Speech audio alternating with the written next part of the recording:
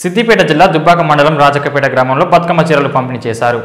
ఈ కార్యక్రమంలో గ్రామ ఉప సర్పంచ్ ఊర్మిళ తిరుపతి గ్రామ కార్యదర్శి రమేష్ ఎంపీటీసీ మమతా రాధా మనోహర్ రెడ్డి మరియు వార్డు సభ్యులు వినోద దేవయ్య నరసింహారెడ్డి మల్లయ్య బాలమల్లు తదితరులు పాల్గొన్నారు.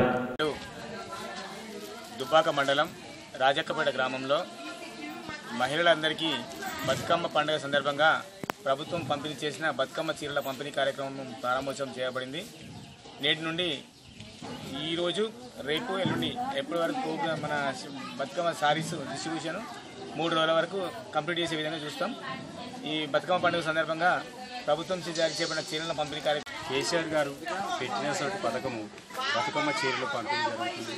కేసీఆర్ సార్ పెట్టినటువంటి ఆడపిల్లలకు అక్కలకు చెల్లెళ్ళకు చీరలు పథకం పెట్టిన ద్వారా ఈ రోజు రేపు ఎల్లుండి ఈ రోజు మూడు రోజులలో పంపిణీ జరుగుతుంది.